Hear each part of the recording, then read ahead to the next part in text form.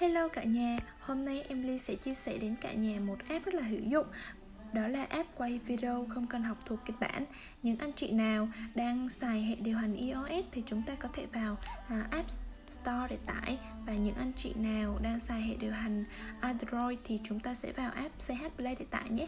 Và đầu tiên chúng ta sẽ vào App Store và gõ từ khóa đó là teleprompter. Và nó sẽ ra hiện lên như thế này và em đi đã tải sẵn rồi, chúng ta sẽ mở lên thôi.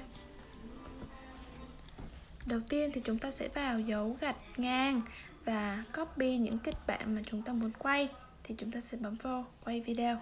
Thì thứ hai, chúng ta sẽ phải chỉnh form chữ lớn nhỏ tùy ý anh chị nhé. Và cuối cùng thì chúng ta sẽ chỉnh tốc độ chạy chữ nhanh, chậm, tùy ý các quý anh chị. Hôm nay em Ly sẽ chia sẻ đến quý anh chị top 4 kênh đăng tin bất động sản hiệu quả nhất hiện nay.